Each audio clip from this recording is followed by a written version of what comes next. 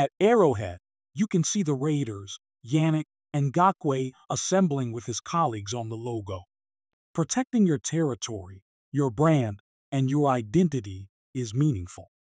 That usually gets teams fired up, so we'll see what the Chiefs say in response to the Raiders' early challenge.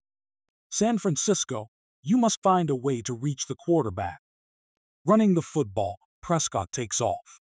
Wow, I really doubt this will turn out good. This will be easy for them to clock. It would be part of their preparation. The official is a major pain in the neck. Oh no, the game has ended. Well, he did, and now we're in this situation. Remember that we observed this play following the fake punt. Well, Jane, here it is. Here in the center, you are not allowed to place your own balls. Instead, you must hand them over to the referee. That, at the end of the game, Prescott ought to have sought out the referee. Disparaging behavior once again, Marsh elevates the play. Their methodology is based on training videos. I don't understand what they desire or don't desire.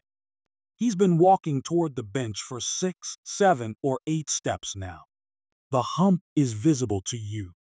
Do you think that could be significant? There was some physical touch.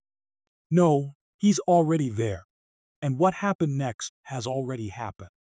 We are informed that that's just Antonio Brown naked, jerseyless. On the sidelines, there were some frustrating moments, not with him specifically, but with the Buccaneers. Both teams were prepared to snap the ball, including his college buddies.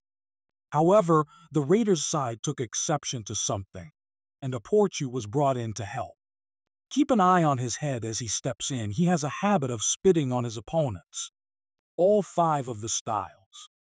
Scrambling and throwing it back to the end zone, Burrow tries to keep it alive. Is it a touchdown or did he go out of bounds first? A touchdown, a touchdown was the outcome of the play. Please take the time to hear the play. Stay alert for Burrow's impending toss. He'll be blowing the whistle shortly. Standing ovation, then it appears. It was an incorrect whistle, and once they've deemed the player out of bounds, the play is done regardless of whether it changed the outcome of the game. They are also unable to correct the mistaken whistle. It was a loose ball in flight, so they should have done what was right because the whistle was actually replaying the down. According to the rules, they are unable to score on that play. Throwing that challenge flag could cause him to damage something. He must exercise caution. Since he has one unsportsmanlike behavior under his belt, he must be. He was the one who initiated communication. Sure enough, it was Rogers. Attention, attention, attention, defense number 40, pass interference. Over the past few occasions, Allen, they have shown him. In the backfield, that's Mooney. On fourth and one, Fields tries to keep the play alive by rolling to the right but he is now dead. He's going to run the play like this. Score, edge, first down, shoulder injury.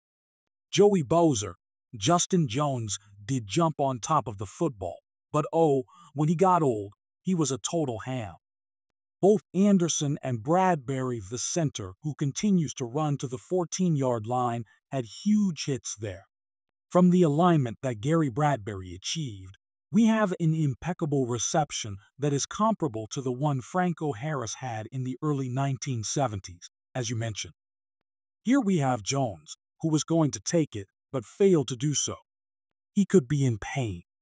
Completed the stop while wearing a helmet. The group is moving ahead. Ugh, on top of everything. What an unusual formation. Here you are down to the four yard line and you still aren't confident enough in your offensive to perform a standard play. Not having any faith in your offense's ability to execute when you're on the offensive end of the field. Their recent actions are just astounding. Keep it gentle so they don't feel pressure. Hurts is going to throw it to one of three tight ends on play action, but Dallas Goedert drops it.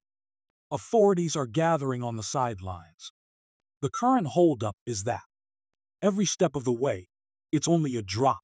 The ball did not touch the ground, rather, it rebounded into the hands of the defender, resulting in an interception, according to the regulation following discussion on the field. Sure, we could use the screen. Even if the ball was long, it would eventually die. Rest assured, it will take precedence. We possess